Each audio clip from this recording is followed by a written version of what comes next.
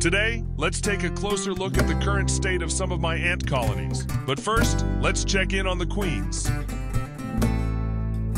Recently, there's been both good and bad news. Sadly, the queen ant didn't make it. She lay motionless for days, even consuming her own eggs almost as if she knew her time was up. If you enjoyed this video, don't forget to subscribe to my channel and support me. The third queen ant hasn't shown any major changes, her egg count remains the same. However, a small cocoon has mysteriously appeared on her leg. Is this a good sign or a bad omen? The fourth one seems to have laid a few more eggs, possibly after reabsorbing the old ones to regain strength. Either way, this looks like a promising sign.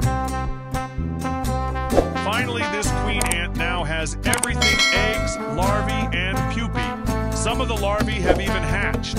For nearly two months, these eggs showed signs of development, but now, more than half have transformed into larvae.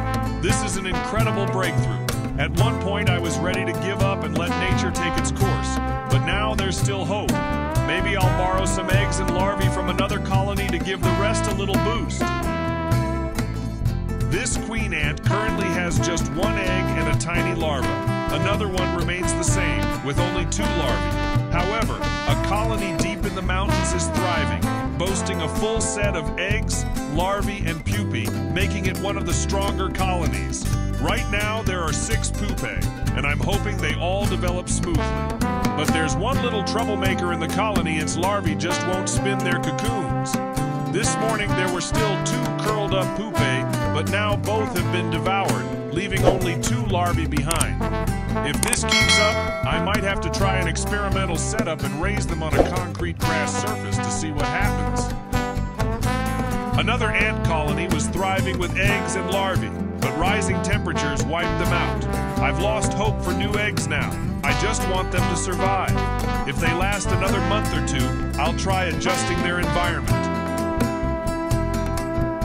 I've had this big-headed ant colony for months, always meaning to care for them properly but ending up neglecting them. Now they come in two colors, black and brown, making them quite interesting. This ant colony, originally from Turkey and purchased just last year, has been thriving exceptionally well. The newly emerged worker ants start off with a striking orange hue, which gradually transforms into a vibrant red after just a few days. This brilliant color remains for a long time, definitely a must-have for any ant-keeping enthusiast. Due to time constraints, I couldn't film as carefully as I'd like this time. The angles and lighting weren't perfect, and I didn't even wipe the dust off the glass. But trust me, it looks absolutely stunning in person. Next time, when I have more time, I'll make sure to capture it in even greater detail. This Turkish ant colony is incredibly affordable, yet it looks even better than some of the expensive ones. It just goes to show that local ant species offer unbeatable value. The new small colonies are growing in test tubes with three workers, eggs, and larvae. They're stunning, but hard to film well for now. Once they move to a nesting box, I'll capture them in detail. These little black ants have some larvae, but no new workers are hatching, and I have no idea why. Both colonies have the same issue, maybe it's the high temperature. They used to be easy to raise, but now it's a mystery.